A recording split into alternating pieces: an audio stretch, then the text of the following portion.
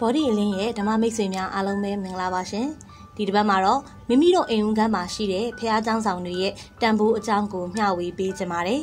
ဒီအကြောင်းအရာကိုတော့ကျေးဇူးတော်ရှင်ရွှေဘောကျွန်းဆရာတော်ဘုရားကြီးအရှင်ဇေယတိတ်တီဓမ္မညာနိကဆရာတော်ဘုရားကြီးကမိန့်ကြားပေးထားခဲ့တာလည်းဖြစ်ပါတယ်ဘလို့တန်ဖိုးရှိတာလဲဆိုရင်တော့အိမ်ဦးခန်းဖះเจ้าဆောင်တစ်ခုတည်းဖြင့်ကုသိုလ်ရေးကိစ္စပါရမီရေးကိစ္စအားလုံးပြီးစီးနိုင်ပါတယ် မိမိတို့အိမ်ဦးကမ်းမှာရှိတဲ့ဖះเจ้าဆောင်မှာတတ်တော်ထင်ရှားမြတ်စွာဘုရား၌၎င်းပရိနိဗ္ဗာန်စံတော်မူသွားကုန်သောဘုရားရှင်တို့၌၎င်းစိတ်စေတနာတူမြသည်ရှိသောတူသောအကျိုးပေး၏ဟုသောဒေသနာတော်ကိုယုံကြည်မြတ်လို့၍ပုံတော်ကိုဂုံတော်သွင်းပြီးတော့တစ်ဒါနပါရမီဖះเจ้าဆောင်၌စွန်ရေချမ်းပန်းစသည်တို့ကိုလှူဒန်းခြင်းဒါနပါရမီ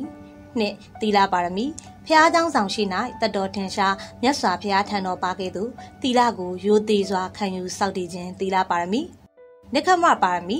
ဖះเจ้าဆောင်ရှိ၌မကောင်းသောအကြံအစီအကုသိုလ်များမှခိတ္တယုံထွက်၍မေတ္တာဘာဝနာစသည်တို့ကိုပွားများနေခြင်းနိခမပါရမီ၄ပညာပါရမီဖះเจ้าဆောင်ရှိ၌အာနာပါနတမ္ပထဝိပဿနာစသည်တို့ကိုအားထုတ်ခြင်းပညာပါရမီ၅ဝိရိယပါရမီဖះเจ้าဆောင်ရှိ၌ဒါန သီလတမာတိပညာဖြင့်အကုသိုလ်များမဖြစ်ပွားပဲကုသိုလ်တရားဖြစ်ပွားအောင်ကြိုးစားအားထုတ်ခြင်းဝိရိယပါရမီ6ခန္ဒီပါရမီဖះเจ้าဆောင်ရှိ၌ညောင်းညာခြင်းပြင်းရည်ခြင်းချင်းကြိုက်ခြင်းစသည်တို့ကိုတီးခံ၍ကုသိုလ်တရားတို့ကိုကြိုးစားခြင်းခန္ဒီပါရမီခုနှစ်တစ္ဆာပါရမီဖះเจ้าဆောင်ရှိ၌ဖះသာဆိုခြင်းပရိယုတ်ဖတ်ခြင်းစသောတစ္ဆာပါရမီရှ စ်အဋိဌံပါရမီဖះเจ้าဆောင်ရှိ၌ဝိတရားမပြတ်ကုသိုလ်တရားတို့ကိုခိုင်မြဲစွာပြုလုပ်စောင့်တည်ခြင်းအဋိဌံပါရမီကိုမေတ္တာပါရမီဖះเจ้าဆောင်ရှိ၌တတဝါတို့အပေါ်မေတ္တာပို့ခြင်းမေတ္တာပွားများခြင်းမေတ္တာပါရမီ